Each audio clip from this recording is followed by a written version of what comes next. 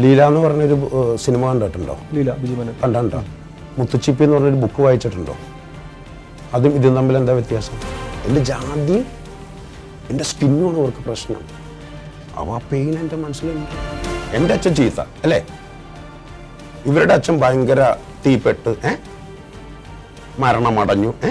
എന്റെ അച്ഛൻ മാത്രം ചത്തു. ഞാനും എന്റെ ഭാര്യയും കൂടി ശാരീരിക ബന്ധം നടത്തിക്കൊണ്ടിരിക്കുന്ന സമയത്ത് നിങ്ങൾ വന്ന് കോളിംഗ് അടിച്ചാലോ?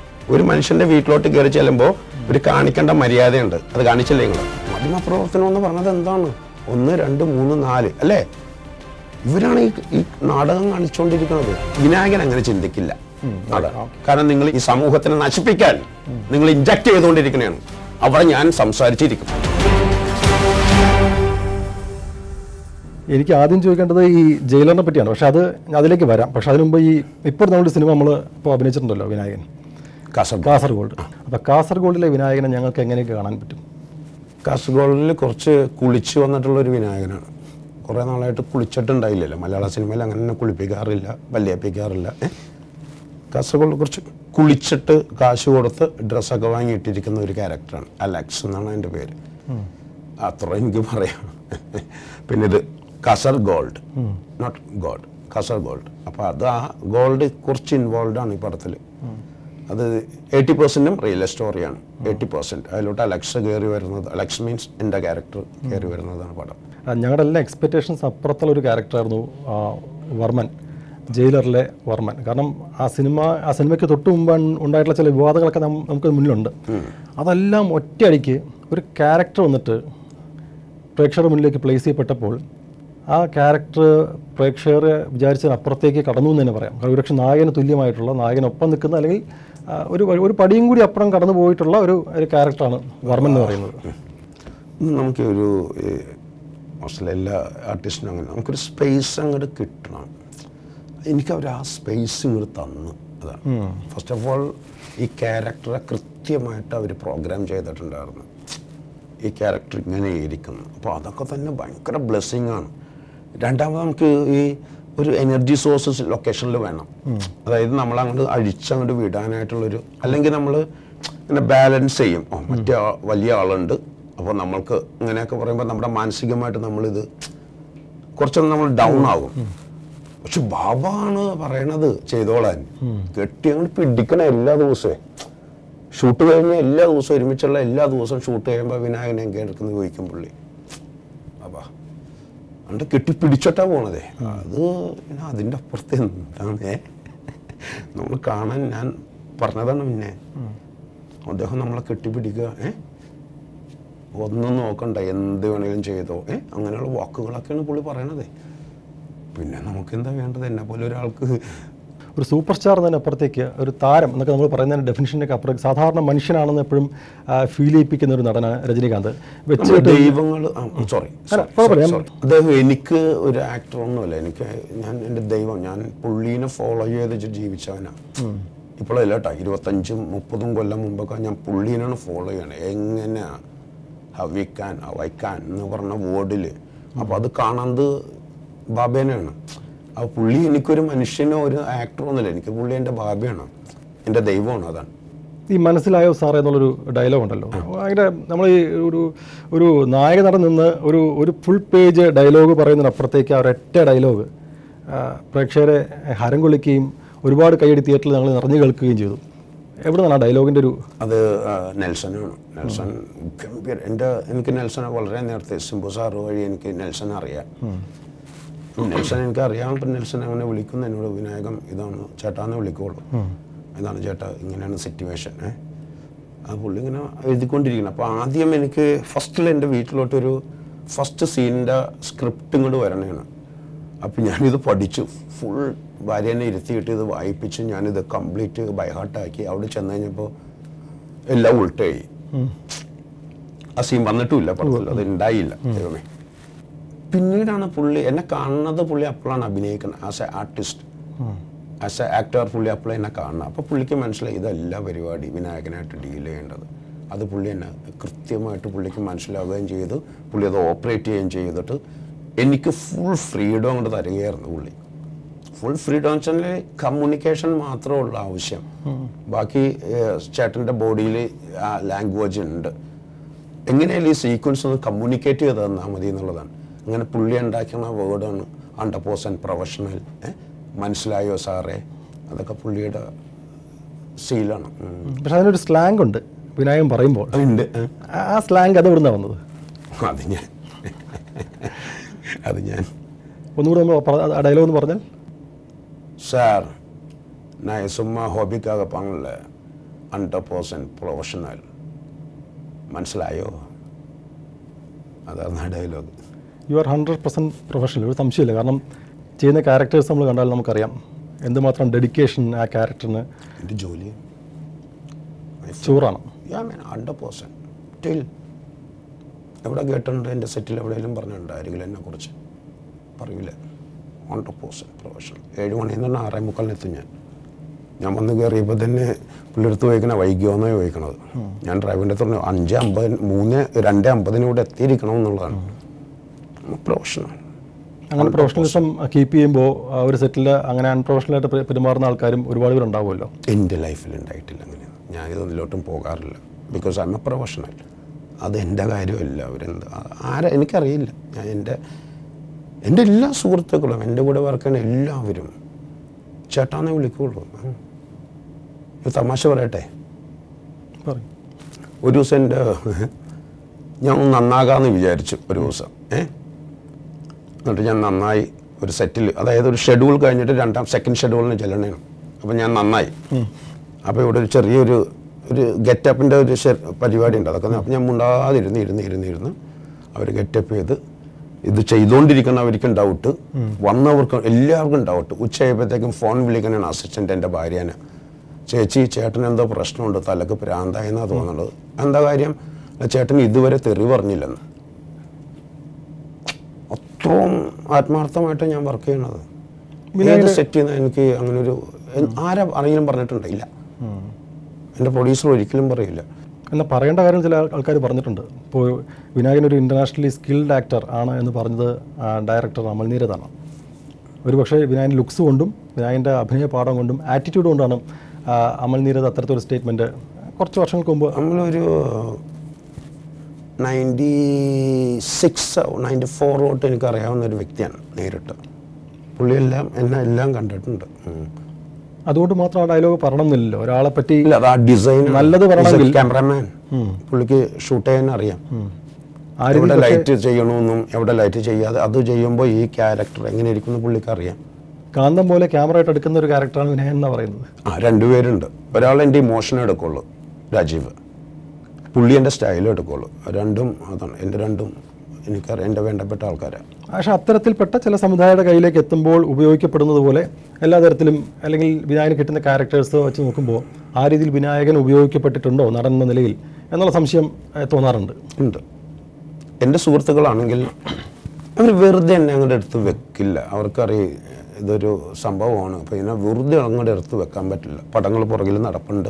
എനിക്കിപ്പോൾ പേഴ്സണലി പെട്ടെന്ന് പബ്ലിക്കായിട്ട് പറയാൻ പറ്റാത്തതുകൊണ്ടാണ് എന്റെ സുഹൃത്തുക്കളുടെ ഗംഭീര പടങ്ങൾ ഞാൻ വെച്ചിട്ട് വരുന്നുണ്ട്. എന്നെ തന്നെ വെച്ചിട്ട് വരുന്നുണ്ട്. ഏറ്റവും അതിശയകരമായിട്ടുള്ള കാര്യം എനിക്ക് എപ്പോഴും തോന്നിയിട്ടുള്ളത് സംഗീത സംവിധായകൻ വിനായകനാണ്. രണ്ട് സിനിമകളുടെ സംഗീതം അത് വിനായകൻ ആണ് കൊടുത്തിരിക്കുന്നത് ഇന്നും അറിയാത്ത കുറേ ആളുകളുണ്ട്. അതൊരു പക്ഷേ ഒരു അതെ അത് അതിന്റെ കാരണം ഒന്നും വിനായകൻ അതിനെക്കുറിച്ച് പറയാൻ താല്പര്യപ്പെട്ടിരുന്നില്ല. പബ്ലിക്കായിട്ട് ഒരിടത്തും ഞാൻ കേട്ടിട്ടില്ല. ഒരിടത്തും വിനായകൻ ഞാൻ ഇന്ന സിനിമയുടെ സംഗീതം ഞാനാണ് കൊടുത്തത്. ഒരിക്കലും ഞാൻ കേട്ടിട്ടില്ല. പക്ഷേ അതൊരു അത്ഭുതമാണ്. ഒന്ന് കമ്മട്ടിപ്പാടം. ട്രാൻസിന്റെ title track. ഇഷ്ടപ്പെട്ടോ? ഗംഭീരമല്ലേ? പ്രത്യേകിച്ചും കമ്മട്ടിപ്പാടത്തിലെ സോങ് അതിന്റെ മ്യൂസിക് പടം കരയും. അല്ല ഞാൻ പറഞ്ഞ അതിന്റെ അതിനൊരു ആ- മ്യൂസിക്കിനൊരു പെയിനാണ് അത് പെയിനല്ല അല്ല, soul അതിങ്ങനെ കെടുക്കണല്ലേ നമ്മളൊന്നുമല്ല അല്ലേ? അൾട്ടിമേറ്റ് ഫിലോസഫിയാണത് അത് അത്. കറക്റ്റായിട്ട് എഴുതി തന്നു. അതാണ്. ചേട്ടൻ കറക്റ്റായിട്ട് എഴുതി അലി. മറ്റേത് കുറച്ചുകൂടി വേറെ ലെവലിലും മ്യൂസിക് അതെ രണ്ട് എക്സ്ട്രീംസ് ആണ്. എക്സ്ട്രീമാണ് അതാണ്. ആ. അത് എന്നോട് ഒരു ദിവസം ഒരു പത്രത്തെ ഒരു ഇതേപോലെ ഒരു ഇന്റർവ്യൂവിൽ ഒരാൾ ചോദിച്ചു ഇതുപോലെയുള്ള മ്യൂസിക്കാണ് ചെയ്യാൻ പോണിയെന്ന് അപ്പം ഞാൻ എനിക്ക് എനിക്ക് അതല്ലായിരുന്നു. അപ്പോൾ ഞാൻ നേരെ ഓപ്പോസിറ്റ് എക്സ്ട്രീം അപ്പുറത്ത് പിടിച്ചതാണ് പക്ഷെ ആ സംഗീതം എവിടുന്നാണ് വന്നത്? കാരണം അതൊരു ചെറുപ്പകാലത്തോ അല്ലെങ്കിൽ അനുഭവങ്ങളിൽ കൂടെയൊക്കെ ഇങ്ങനെ കടഞ്ഞെടുത്തിട്ടുള്ള ഒരു ഒരു ഒരു കാമ്പുള്ള സംഗീതമാണത്. താളം എനിക്കുണ്ട്. താളം എനിക്കുണ്ടെന്ന് വെച്ചാൽ എന്റെ ഞാൻ ഞാൻ പറഞ്ഞെടുത്ത് തന്നെ എന്റെ കുടുംബമായിട്ട് എനിക്ക് താളമുണ്ട്. ഉം. താളം നല്ല താളമുണ്ട് മറ്റേത് ഞാൻ ട്രാവൽ ചെയ്തപ്പോൾ എനിക്ക് കിട്ടിയതാണ് സ്പെഷ്യലി ഫ്രം ഗോവ പിന്നെ തേർഡ് നോട്ട് പോക്കുന്ന ബൊമാലി. ഇവർ രണ്ടുപേരാണ് എന്നെ third note one two three palm പാം എന്ന് പോകുന്നത് ബൊമാലിയാണ് നമ്മൾ ഒരിക്കലും നമ്മൾ ഡൗൺ ആക്കൂല ആ നോട്ട്. പിന്നുള്ളത് എനിക്ക് ഗോവയെന്നാണ് കിട്ടിയത്. ബേസിക്കലി ഞാനൊരു സൈക്കറിലേക്ക് ട്രാക്ക് മാത്രം കേൾക്കുന്ന ഒരു വ്യക്തിയാണ്.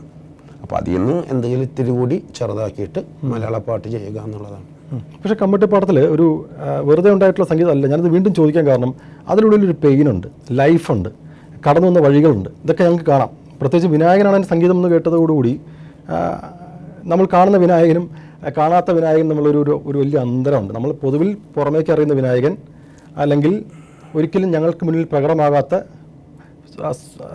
സ്വയം ഒളിച്ചു വെക്കപ്പെടുന്ന ഒരു വിനായകനുണ്ട്. ആ വിനായകനാണ് ആ പാട്ടിനുള്ളിൽ ഉണ്ട് എന്നുള്ളത് എനിക്ക് തോന്നിയിട്ടുള്ളത്. അപ്പോൾ അത് അത് എത്രമാത്രം ആ പെയിൻ അത് എവിടെ നിന്നാണ് ആ സോങ്ങിൽ വന്നത്? പെയിൻ ഇന്നും എന്നെ ഇത് വെച്ചിട്ട് ആൾക്കാർ കളിയാക്കിക്കൊണ്ടിരിക്കുന്നത് ഇത്രയും വലിയ വിദ്യാഭ്യാസമുള്ളൊരു സമൂഹമാണ്. എന്റെ സ്കിന്നാണ് പറയണത് ഇവർ നമ്മളൊന്ന് ആലോചിക്കണം എന്താണ് ഇവർ ചെയ്യണത്? ഞാൻ എന്ത് തെറ്റ് ചെയ്ത് പറ എന്താ ഞാൻ ചെയ്ത തെറ്റ്? പറയുന്നത് ഇവരല്ലേ? ഒരു മര്യാദ വേണ്ടേ?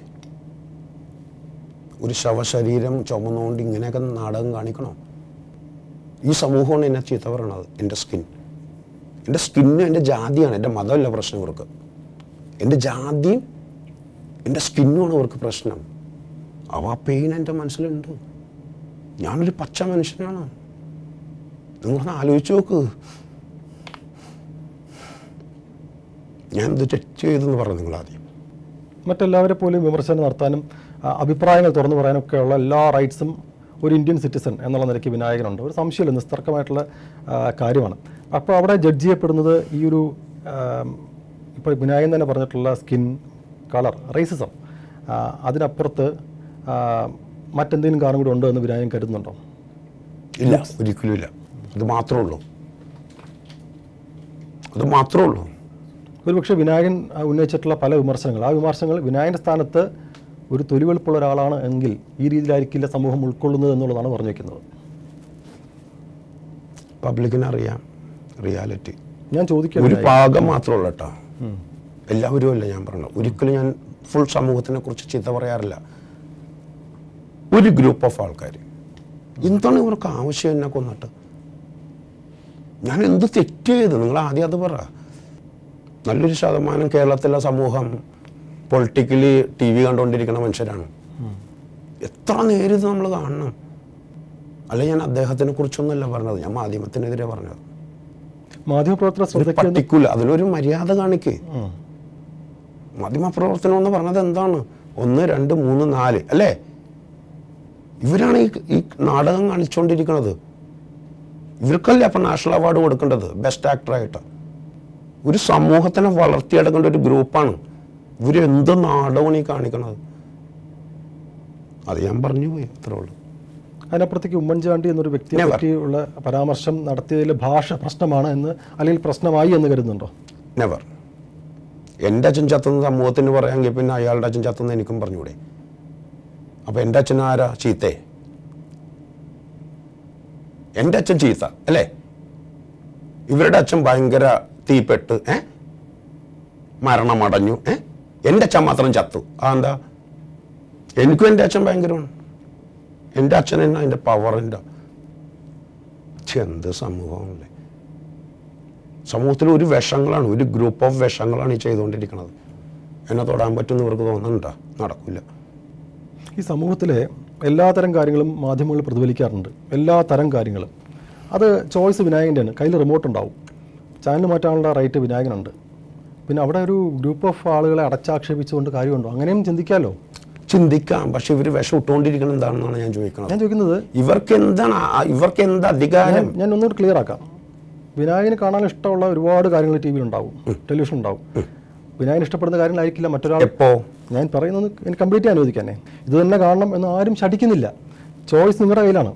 റിമോട്ട് കയ്യിലുണ്ട്. അപ്പോൾ അത് സോഷ്യൽ മീഡിയയിലൂടെ അത് ഒരു അടച്ചാക്ഷേപം നടത്തുകയും അതിൽ ഉമ്മൻചാണ്ടിക്കെതിരെ ഉമ്മൻചാണ്ടി നേരത്തെ പറഞ്ഞ ഒരു പദപ്രയോഗം ഞാൻ അതിന്റെ അതിന്റെ മെറിറ്റ്സ് ആൻഡ് ഡിമെറിറ്റ്സ് അല്ല പറയുന്നത് കേട്ടോ.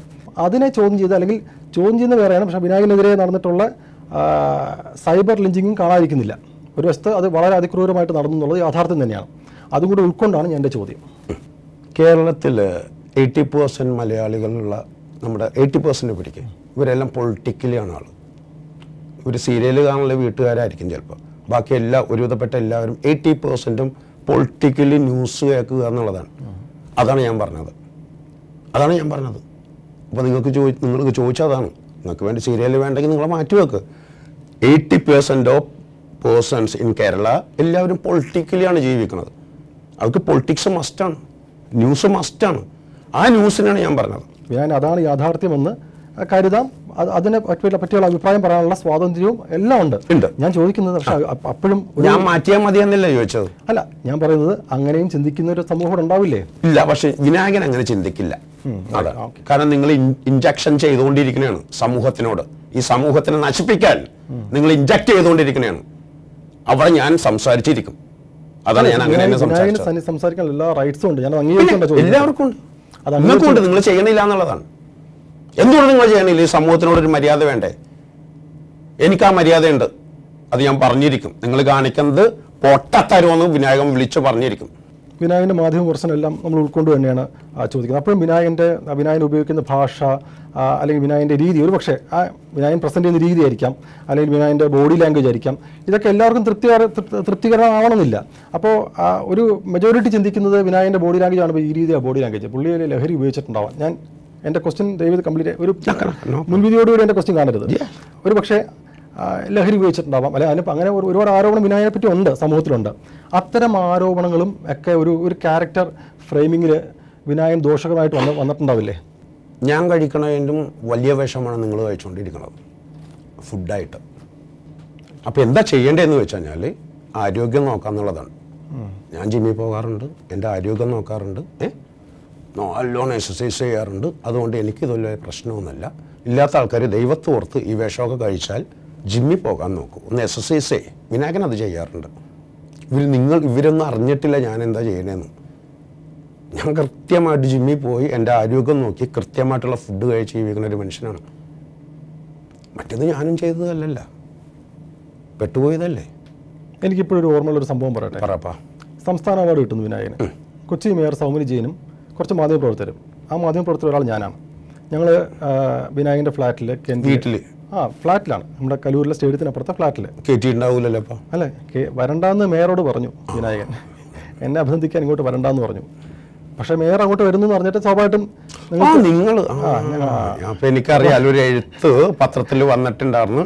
ഷോർട്സ് ഇട്ട് കലൂറിലേക്കണ ആളുടെ വീട്ടിന്റെ അതിന്റെ ഉത്തരവാദി ഞാനല്ല. ഞാൻ ഒരിക്കലും വിനായകൻ ഷോർട്സ് ഇട്ടൊന്ന് വിനായകൻ എന്തെങ്കിലും ഇവിടെ ലഹരി ഉപയോഗിച്ചെന്ന് ഞാൻ പറഞ്ഞിട്ടില്ല. അത് ഉറപ്പുള്ളതാണ് ഞാൻ ചോദിക്കുന്നത്. അപ്പോൾ അങ്ങനെ വന്നു. എവിടെ? വിനായകന്റെ ഫ്ലാറ്റിൽ മേയർ സൗമിനി ജയനും അന്നത്തെ മേയർ സൗമിനി ജയൻ അഭിനന്ദിക്കാൻ പോവാണ്. വിനായകൻ സംസ്ഥാന അവാർഡ് ചെയ്തതായ വിനായകൻ അഭിനന്ദിക്കാൻ പോവാണ്. കയ്യിലൊരു ഷോളുണ്ട് അപ്പോൾ ഞങ്ങൾ കുറച്ച് മാധ്യമപ്രവർത്തകർ കൂടെ ഉണ്ട്. മേയർ പോകുന്ന വഴിക്ക് തന്നെ പറഞ്ഞു എന്നോട് വരണ്ടാന്ന് പറഞ്ഞു. എനിക്ക് അഭിനന്ദിക്കാതിരിക്കാൻ കഴിയില്ലല്ലോ. അപ്പോൾ ഞാൻ ലിഫ്റ്റ് കയറുന്നു മേളിൽ വന്നു വിനായന്റെ ഫ്ലാറ്റിലെ കോളിമ്പൽ അടിക്കുന്നു. ഞങ്ങൾ പുറത്തേക്കുന്നു ഒരു മൂന്നാൽ കോളിമ്പൽ കഴിഞ്ഞ് തുറക്കുന്നില്ല. അപ്പോൾ ഈ സ്വാഭാവികമായിട്ടും പിന്നെ ഒരു നാലോ അഞ്ചോ കോളം കഴിഞ്ഞപ്പോൾ വിനായകൻ തുറന്നു. വിനായൻ ആദ്യം പറയുന്നത് ഞാൻ പറഞ്ഞതല്ലേ ഇങ്ങോട്ട് വരണ്ടാന്ന്? എന്താ കാര്യം? വിനായന്റെ റൈറ്റാണ് വിനായന്റെ വീട്ടിൽ ആര് വരണം വേണ്ടെന്നൊക്കെ വിനായ വിനായന്റെ റൈറ്റാണ് ഒരു സംശയമില്ല കാര്യത്തിൽ പക്ഷേ ഞാൻ പറയുന്നത് ഈ സമൂഹത്തിന് സമൂഹത്തിലൊരു സമൂഹത്തിലെ ഒരു വ്യവസ്ഥാപിതമായിട്ടുള്ള ചില കാര്യങ്ങൾക്ക് വിരുദ്ധമായിട്ടുള്ള പെരുമാറ്റം എന്ന് പറയുമ്പോൾ നിങ്ങൾ വിചാരിക്കുന്നതാണ്. അല്ല ഇന്ന് ഞാൻ പറഞ്ഞു ഞാനും എന്റെ ഭാര്യയും കൂടി ശാരീരിക ബന്ധം നടത്തിക്കൊണ്ടിരിക്കുന്ന സമയത്ത് നിങ്ങൾ ഒന്ന് കോളിംഗ് ബെല്ലടിച്ചാലോ അതാ പറഞ്ഞ നിങ്ങളത്ത് വരല്ലേന്ന്. ഒരു സിമ്പിളാണതെല്ലാം ഒരു മനുഷ്യന്റെ വീട്ടിലോട്ട് കയറി ചെല്ലുമ്പോൾ ഒരു കാണിക്കേണ്ട മര്യാദയുണ്ട്. അത് കാണിച്ചില്ലേ നിങ്ങൾ നിങ്ങളടുത്ത് ഞാൻ പറഞ്ഞോ? വരാൻ. ഇല്ലല്ലോ. ഞാൻ പറഞ്ഞത് വരല്ലേ? എന്റെ ഭാര്യ എട്ട് ഒമ്പത് മാസം എവിടെ പോയി ജോലി കഴിഞ്ഞിട്ട് തിരിച്ചു വന്നിരിക്കുന്ന ദിവസമാണ്. എനിക്ക് എന്റെ ഭാര്യയുടെ കൂടെ നിൽക്കണം അപ്പോൾ നിങ്ങൾ ഒന്ന് ബെല്ലടിച്ചാലോ?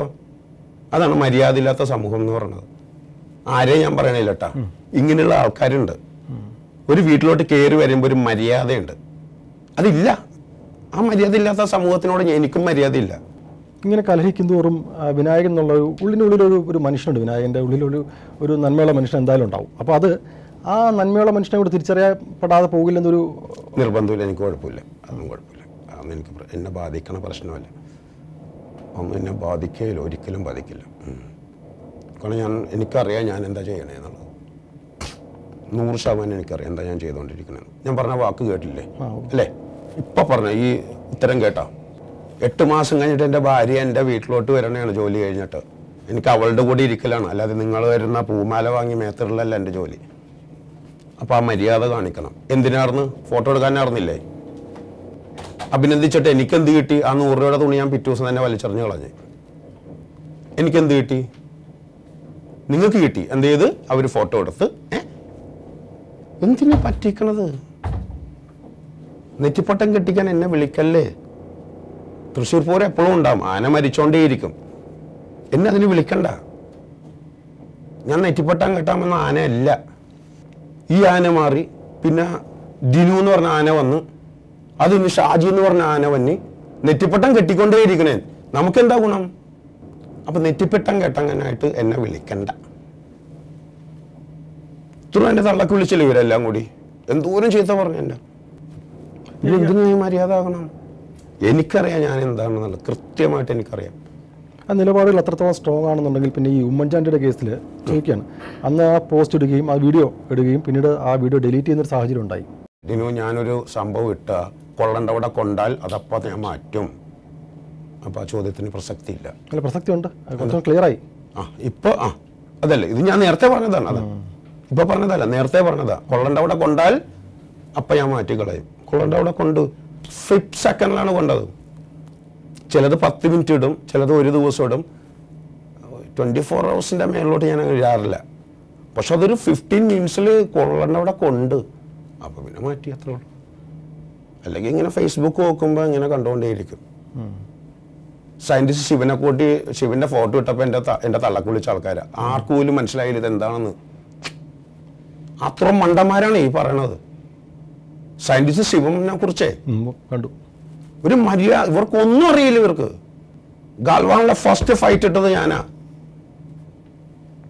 അപ്പൊ അവരെന്റെ അപ്പോഴും എന്റെ തള്ളക്ക് വിളിക്കണ നിന്റെ തന്ത മേളിലുണ്ടാന്ന് ഗാൽവാന്റെ ഇവിടെ ഒരു പത്രക്കാരും ഇട്ടിട്ടില്ല. ഞാനാണ് ഇട്ടത്. ഫസ്റ്റ് ഫൈറ്റിന്റെ നിങ്ങൾ എന്നെ മണ്ടനായിട്ട് കാണരുത്. സോറി നിങ്ങളല്ല. ഈ പൊതുവിഷയങ്ങളിൽ അല്ലെങ്കിൽ പൊതുവിൽ സ്വീകരിക്കുന്ന നവമാധ്യമങ്ങളടക്കം സ്വീകരിക്കുന്ന ഇത്തരം നിലപാടുകൾ കൊണ്ട് ഇൻഡസ്ട്രിക്കകത്ത് വിനായകൻ വരുന്നു വർക്ക് ചെയ്യുന്നു പോകുന്നു. സംശയമില്ല കാര്യത്തിൽ. പക്ഷേ അവിടെയും വിനായകൻ ആർട്ടിസ്റ്റ് ഉണ്ടാക്കുന്ന ചില ബുദ്ധിമുട്ടുകൾ നേരത്തുള്ള പെരുമാറ്റം ഉണ്ടാവാറുണ്ടോ? എന്റെ പ്രൊഡ്യൂസർ ഒറ്റ പ്രൊഡ്യൂസർ പറയാറില്ല. തൊണ്ണൂറ്റി നാല് തൊണ്ണൂറ്റഞ്ചിൽ വന്നതാണ്. ഇന്ന് വരെ ഒരൊറ്റ പ്രൊഡ്യൂസർ വിനായകനെ കൊണ്ടൊരു പ്രശ്നം ഉണ്ടായിന്ന് പറഞ്ഞില്ല. പറയാൻ പറ്റില്ല ഹൺഡ്രഡ് പേഴ്സന്റ് പ്രൊഫഷണൽ. അവർക്ക് വേണ്ട വിനായകൻ എന്ന ആർട്ടിസ്റ്റിനെയാണ്. ബാക്കി നിങ്ങളുടെ വ്യക്തി വിനായകൻ ഉണ്ടെങ്കിൽ പ്രൊഡ്യൂസർ വരെയും പോകും. ചില സ്ഥലത്ത് ഡയറക്ടർ പോലും ഇല്ല വിനായകൻ ഉണ്ടെങ്കിൽ ചെയ്തോളൂ എന്ന് പറയണത്. അത്ര പ്രൊഫഷണലാണ് ഞാൻ. ഡെഡ്ലി പ്രൊഫഷണലാണ് ഇതിനിടയിൽ ഒരു സിനിമ സംവിധാനം ചെയ്യാൻ ആലോചിച്ചിട്ടുണ്ടായിരുന്നു അത് നിന്നുപോയി പെട്ടെന്ന്. ചെയ്യും കുറച്ച് കഴിയുമ്പോൾ ചെയ്യാം. സമയമുണ്ടല്ലോ മുന്നോട്ട് സമയമുണ്ടല്ലോ ധാരാളം. അപ്പോൾ അത് എന്താ എന്താണ് അത് നിന്നുപോകാൻ കാരണം? അങ്ങനെ ഒരു ആലോചന വന്നിട്ട് പെട്ടെന്ന് നിന്ന് ഇപ്പോൾ അത് ഞാൻ ആദ്യം എഴുതി ഞാൻ ആദ്യമായിട്ട് ഒരു പടം എഴുതണമായിരുന്നു. ആ പടം എഴുതി വന്നപ്പോൾ ഒരു സാധാരണ നമ്മുടെ ഇവിടെ എവിടെയെങ്കിലും ഇട്ട് ചെയ്യാന്നുള്ളൊരു ഓർന്നു. പക്ഷെ എഴുതി വന്നപ്പോൾ അതിന് വേറൊരു ഏരിയ ഉണ്ടെന്ന് എനിക്ക് മനസ്സിലായി. അപ്പോൾ ആ പടം പെട്ടെന്ന് അവിടെ നിർത്തിയതാണ്. അതാണ്. നടൻ ധ്യാൻ ശ്രീനിവാസന്റെ ഒരു ഇന്റർവ്യൂ കഴിഞ്ഞ ദിവസം എടുക്കാനിടയായി. അപ്പോൾ ധ്യാൻ ഈ ഇൻഡസ്ട്രി പെട്ടൊരു ഒരു പ്രധാനപ്പെട്ട നടൻ തന്നെയാണല്ലോ. അപ്പോൾ ധ്യാൻ പറഞ്ഞൊരു കാര്യം ഇൻഡസ്ട്രിയിലെ ലഹരിയെപ്പറ്റി ലഹരി ഉപയോഗത്തെപ്പറ്റി വളരെ വ്യക്തമായിട്ട് ധ്യാൻ പറയുകയാണ്. ധ്യാൻ തന്നെ അതിനകത്ത് ഉപയോഗിച്ചിരുന്ന ആളാണ്. നന്നായിട്ട് ലഹരി ഉപയോഗിക്കുകയും പിന്നീട് അതിൽ നിന്ന് വിടുതൽ വാങ്ങുകയും മുന്നോട്ട് ജീവിതം ജീവിതമാണ് ലഹരി എന്ന് കണ്ട് ആ രീതിയിലേക്ക് മാറുകയും ചെയ്തിട്ടുള്ള ആളാണ്. ഇൻഡസ്ട്രിയിലെ ലഹരി ഇൻഡസ്ട്രിയിലെ ലഹരി ഉപയോഗത്തെ പറ്റിയിട്ട് നേരത്തെ നിർമ്മാതാക്കൾ തന്നെ തുറന്നു പറയുന്ന സാഹചര്യം ഉണ്ടായി ഞാൻ ഏത് ആർട്ടിസ്റ്റിന്റെ മുന്നിൽ കിട്ടിയാലും ഞാൻ ചോദിക്കും ഈ ചോദ്യം. അത് മറ്റൊന്നും ഉണ്ടല്ല കുഴപ്പമില്ല നല്ലതാ. അത് ചോദിച്ചുകൊണ്ടേയിരിക്കും ഉത്തരം എന്ത് തന്നെയായാലും. അത് കുഴപ്പമില്ല. അപ്പോൾ ആ രീതിയിൽ ഇൻഡസ്ട്രിയിലെ ലഹരി ഉപയോഗത്തെ അവിടെ എല്ലാ മേഖലകളിലും ലഹരിയുണ്ട്. ഞാൻ ഒരു നടൻ എന്ന നിലയിൽ വിനായകൻ എന്റെ മുന്നിൽ ഇരിക്കുന്നതുകൊണ്ടാണ് ഞാൻ ആ ചോദ്യം ഫിലിം ഇൻഡസ്ട്രിയെ പറ്റി പ്രത്യേകിച്ചൊരു ചോദ്യം വിനായകനോട് ചോദിക്കുന്നത്. എന്തിനാ എന്നോട് ചോദിക്കണം എന്തിനാ? ഇത് ഇൻഡസ്ട്രിയുടെ ഭാഗമല്ലേ വിനായകൻ? ആ അത് ഞാൻ ചെയ്യാറില്ലല്ലോ ഇതൊന്നും? അല്ല ഞാൻ എന്ന് പറഞ്ഞില്ല. എനിക്കറിയില്ല. നേരത്തെ ഒരു മുൻവിധിയെ പറ്റി. എനിക്കറിയില്ല. എനിക്കറിയില്ല. ഇൻഡസ്ട്രിയിലെ ലഹരി ഉപയോഗത്തെ പറ്റി മറ്റാരും ഉപയോഗിക്കുന്നതിനെ പറ്റിയോ അല്ലെങ്കിൽ ഇൻഡസ്ട്രിയിൽ ലഹരി വ്യാപകമാണെന്നുള്ള ഒരു അറിവോ വിനായകനില്ല. ഇൻഡസ്ട്രിയിൽ നല്ല ഇത് വേൾഡിൽ ഈ പരിപാടിയുണ്ട് ഞാൻ ജീവിക്കുന്നത് ഗോവയിലാണ്. വേൾഡിലുള്ളതാണത് പത്രക്കാരിലില്ലേ? ഇല്ലേ? ഇല്ലേ? എല്ലാ മേഖലയിലുണ്ടെന്നാണ് ഞാൻ ഉണ്ട് പറഞ്ഞത്. അതാണ്. അത് ഇൻഡസ്ട്രിയിലും ഉണ്ടാവും. ഇതെല്ലാം ഒരുമിച്ച് ഒറ്റ വേൾഡാണ് പത്രക്കാരുടെ എവിടെ ഉണ്ടാകുന്നു പത്രക്കാരിൽ എന്തൊക്കെ നടക്കുന്നു അത് തന്നെ സിനിമ ഇൻഡസ്ട്രിയിൽ നടക്കും. സിനിമ ഇൻഡസ്ട്രിയിൽ എന്തൊക്കെ നടക്കുന്നു അത് തന്നെ ഹോസ്പിറ്റൽ ഇൻഡസ്ട്രിയിൽ നടക്കും. വെരി സിമ്പിൾ പക്ഷെ സിനിമക്ക് മാത്രം ഒരു സെപ്പറേറ്റ് സംഭവം ഇല്ല. എന്ന് ഞാൻ പറഞ്ഞില്ല. ഇല്ല.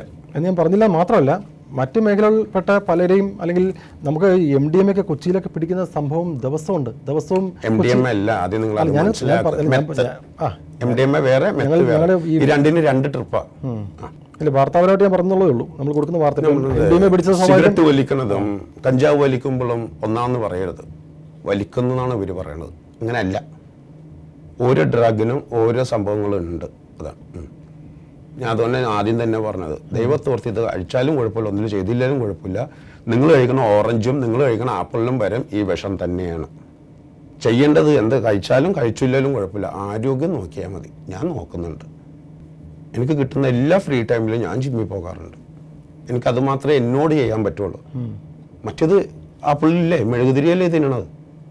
ഓറഞ്ചിലില്ലേ? മീനിലില്ലേ?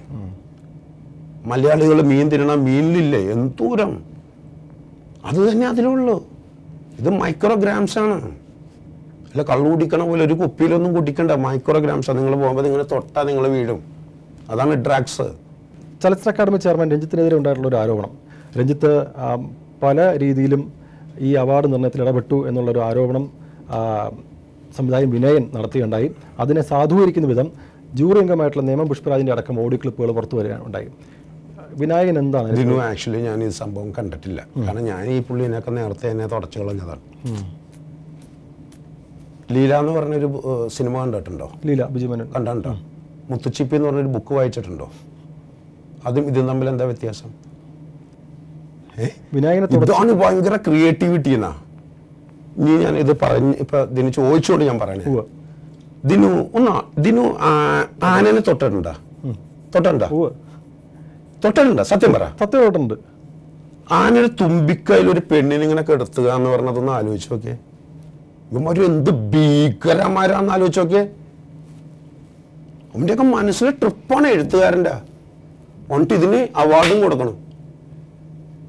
ഞാൻ പറഞ്ഞ അത്രയും ഉണ്ടോ? അതിന്റെ ഇരട്ടിയല്ലേ ഭീകരത? ഒരു സ്ത്രീയെ നഗ്നയാക്കി ആനയുടെ ഇങ്ങനെ കിടത്തിയിട്ട് അവളെ എന്താ? ഭോഗിക്കുക എന്ന്. അത്രയും മോശപ്പെട്ടവനല്ല വിനായകൻ?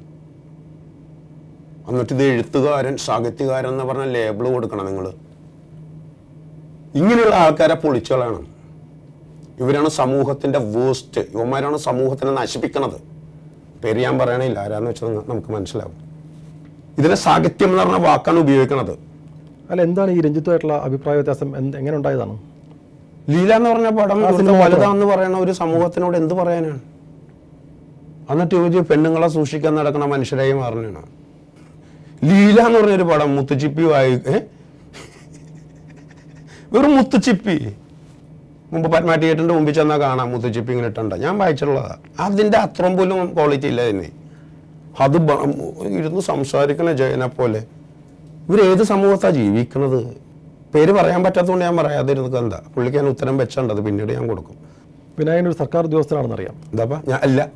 രാജിച്ചു ഇല്ല ഇല്ല. ഉണ്ടായില്ല അത് ഭയങ്കര റോങ് ആയിട്ടുള്ള തെറ്റായിട്ടുള്ള ഇൻഫർമേഷൻ ആ ബ- അങ്ങനെ കുറെ തെറ്റായിട്ടുള്ള ഇൻഫർമേഷനെ കുറിച്ചുണ്ട്. പത്താം ക്ലാസ് മൂന്ന് പ്രാവശ്യം എതിട്ട് ജയിക്കാത്ത ഞാൻ എങ്ങനെയാണ് കോളേജ് എഴുതി? ഞാൻ മഹാരാഷ്ട്ര കോളേജിൽ പഠിച്ചതാന്ന് വരെ ആൾക്കാർ പറഞ്ഞു. ഉണ്ടാക്കിയതാണ് ഈ ചരിത്രം മൊത്തം? അതാണ് ചരിത്രം. അതാണ് പ്രശ്നം. അപനിർമ്മിതിയല്ലേ ഇപ്പോൾ ഞാൻ മഹാരാജ് കോളേജിൽ പഠിച്ചിട്ടില്ല. മഹാരാജ് കോളേജിൽ പോകുന്നു മാത്രമേ ഉള്ളൂ.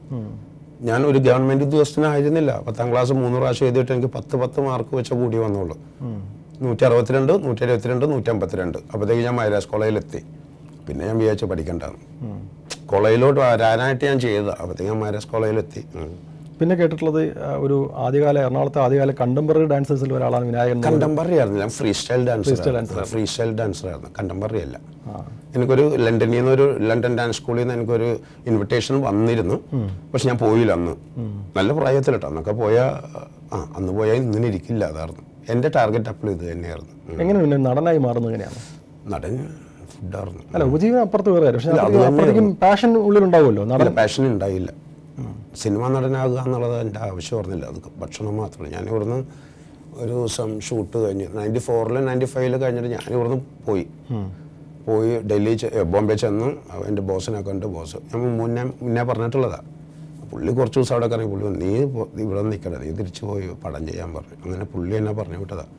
ഇവിടെ വന്ന് പിന്നെ കുറേ നാൾ നടന്ന് കറങ്ങി. കാശില്ല. പിന്നെ തമ്പി സാർ എനിക്ക് തമ്പി സാറാണ്. എന്നെ കൊണ്ടുവന്നത്. തമ്പി സാറ് ഞാൻ ചെന്നു സാറ് ഇങ്ങനെ. അപ്പോൾ പടം തുടങ്ങാറായി പെട്ടെന്ന്. അപ്പോൾ എനിക്കൊരു എനിക്കായിട്ടൊരു ക്യാരക്ടർ എഴുതാനും പറ്റിയില്ല സാറിന്. സാർ എന്നെ രക്ഷപ്പെടുത്തിയ പക്ഷെ സാറ് എനിക്ക് വേണ്ടി ഒരു ഹൈ സ്പീഡ് ഷോട്ട് വെച്ചിട്ടുണ്ടായിരുന്നു ആ പടത്തിൽ. അത് കഴിഞ്ഞ് ഒരു വൺ പടം റിലീസ് നെക്സ്റ്റ് വീക്കിൽ എനിക്ക് അടുത്ത പടം വന്നു. വയലൻസ് സായം ചാണ്ടോട് പിന്നെ നിന്നില്ല. പിന്നെ വൺ ബൈ വൺ പിന്നീട് പിന്നീട് സ്വന്തം പേര് തന്നെ സിനിമ വിളിച്ചു വിനായകൻ എന്നുള്ള പേര് തന്നെ ഇവരിൽ വന്നു. ഇവരിൽ വന്നു. അത് ചേട്ടൻ ഒരു ദിവസം രാജീവേട്ടൻ ഒരു ദിവസം ഞാൻ പോയി കണ്ട് അമലൊക്കെ ആയിരുന്നു എന്റെ അമ്മൽ രാജീവൊക്കെ ആയിരുന്നു എന്റെ ക്യാമറമാനൊക്കെ. അങ്ങനെ രാജ എന്നെ ഒരു ദിവസം വിളിച്ച് ഞാൻ വിളിച്ചു. അപ്പോൾ പെട്ടെന്ന് പുള്ളി ഒരു ക്യാരക്ടർ ഉണ്ടാക്കിയത് വിനായകൻ എന്ന് പറഞ്ഞിട്ട്. ഇതിലൂടെ ഇതിനിടെ വിനായകന്റെ റെമ്യൂണറേഷൻ ചൊല്ലി ചില വിവാദങ്ങളും നമ്മുടെ നമുക്ക് ചുറ്റുമുണ്ട്. ഞാനത് വ്യക്തമായിട്ട് തന്നെ പറയാം. കാരണം ജയിലറിലെ ഇത്രയും മുഴുനീള പ്രശംസ ആയ വിനായകനെ കിട്ടിയിട്ടുള്ളത് മുപ്പത്തിയഞ്ച് ലക്ഷം രൂപ എന്നാണ് ഞങ്ങൾ അറിഞ്ഞിട്ടുള്ള കണക്ക്. എനിക്കറിയില്ല എന്താണെന്നുള്ളത് ഞാൻ കിട്ടിയിട്ടുള്ള നമ്മുടെ ഈ ഊഹാപോഹങ്ങൾ മാത്രം അറിയുന്നതാണ്. തേർട്ടി ഫൈവ് ലാക്സാണ് വിനായകൻ കിട്ടിയത്. രജനി രജനീകാന്തിന്റെ കോടികളും അപ്പുറത്ത് പറയുന്നുണ്ട്. വിനായകൻ ഇത്ര മാത്രം കൊടുത്താൽ പോരാ? പോരാ. പോരാ. ആ പക്ഷെ എനിക്ക് അത്ര ഒന്നുമല്ല കിട്ടിയെന്ന് അതാണ് അല്ല ഞാൻ ചോദിക്കുന്നത്? ഞാൻ ചോദിച്ച കാശിന്റെ അതിലും വലുത് അവരെനിക്ക് തന്നു. തന്നു. ആ പിന്നെ. ഞാൻ ചോദിച്ചതിലും കൂടുതൽ കാശ് തന്നു. ഉണ്ടോ? അപ്പോൾ എങ്ങനെയൊക്കെയാണ് ഈ പറഞ്ഞ ഊഹാപോഹങ്ങൾ വരുന്നത്? ഞാൻ ഗവൺമെന്റ് ഉദ്യോഗസ്ഥനാണ്. ഞാൻ മഹാരാജാസ് സ്കൂളിൽ പഠിച്ചു. എനിക്ക് മുപ്പത്തഞ്ച് ലക്ഷം രൂപ തന്നോളൂ ആരാണ് ഇതൊക്കെ ഉണ്ടാക്കുന്നത് ഇതെല്ലാം തെറ്റാണെന്ന് ഇപ്പം ഇന്ന് ഇന്നത്തോട് നമ്മൾ ഇപ്പൊ ഞാൻ വിളിച്ചു പറഞ്ഞത് മൂന്ന് കാര്യം. എനിവേ ഈ പറഞ്ഞ പോലെ വിനായകന്റെ വിനായകന്റെ തീരുമാനങ്ങൾ വിനായകന്റെ ചിന്തകൾ അത് അത് തന്നെയായിരിക്കാം വിനായകന്റെ മുന്നോട്ടുള്ള യാത്രയ്ക്കും വിനായകൻ മാതൃകയാക്കുന്നത്. മറ്റൊരു മാതൃക വിനായകൻ ഉണ്ടെന്ന് എനിക്ക് ഞാൻ കരുതുന്നില്ല. വിനായകൻ തന്നെയാണ് വിനായകന് മാതൃക. ഏറ്റവും ഒടുവിലായിട്ട് ആ കമ്മട്ടി പാടത്തിലൊരു പാട്ട് കേട്ടാൽ കൊള്ളാമെന്നുണ്ട്. വിനായകന്റെ സംഗീതം സൗണ്ട് ഒന്ന് പൊട്ടിയിരിക്കുന്നത്. എന്നാലും ഈ ഈ സൗണ്ട് തന്നെയായിരുന്നു ആ പാട്ടിൽ ഒരു കാഠിന്യം നിറഞ്ഞിട്ടുള്ള കടുപ്പമേറിയിട്ടുള്ള ആ ശബ്ദം. പുഴുപുലികൾ പക്കി പരുന്തുകൾ കടലാനകൾ കാട്ടുരുവങ്ങൾ പലകാല പരദൈവങ്ങൾ പുലയാടികൾ നമ്മളുമൊപ്പം നരകിച്ചു പുറക്കുന്നിവിടം ഈ ലോകം തിരുമകനെ കലഹിച്ചു മരിക്കുന്നിവിടം. ഇഹലോകം എൻ തിരുമകനെ കലഹിക്കുന്നവരൊക്കെ കലഹിക്കട്ടെ. അവർ കലഹിച്ചോണ്ടിരിക്കും ഞാൻ ജീവിച്ചോണ്ടിരിക്കും. വീണ്ടും വീണ്ടും താങ്ക് യു